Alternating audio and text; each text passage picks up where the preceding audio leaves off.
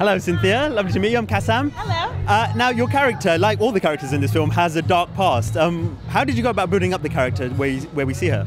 Well, a lot of it was already in the script, and we had a great script to work with uh, from our writer Bill Dubuque.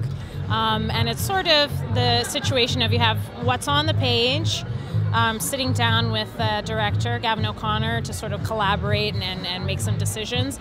And then sort of going off on my own and just giving some thought to, you know, who is this woman and what sort of inspires her, motivates her, makes her tick. So kind of think all of those elements combined and you know, you put in a little a, d- a dash of salt and pepper, and then and then you have this character. And some incredible scenes with J.K. Simmons as well. What was it like building that relationship between the two of you on screen? You know, it was really cool because it was just sort of like a slow build. You know, sometimes you do all this preparation, but a lot of it happens in the moment. You know, you're sort of trying different things out, and and it was great to sort of find this dynamic, almost like a mentor-mentee dynamic between the characters. But there's a real progression there, and when we first meet these two, that's not how things start. So I think the audience is going to be really interested to see how everything connects. Mm-hmm. And finally, we leave Mary Beth in a very interesting place.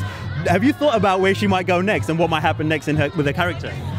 I've given some thought to it, but what I really like is that for, for people who haven't seen the movie, I think, you know, when the credits roll, you really are left to wonder what happens to these characters after after I walk out. And I think that's that's sort of what I'm hearing and, and that's always like a nice a nice feeling that people are, are invested to see what happens next. Ladies and gentlemen, you're watching Hey You Guys! Hey You Guys, huh? Hey You Guys. Is that from the Goonies? It is indeed, yes. Nice. Hey You Guys!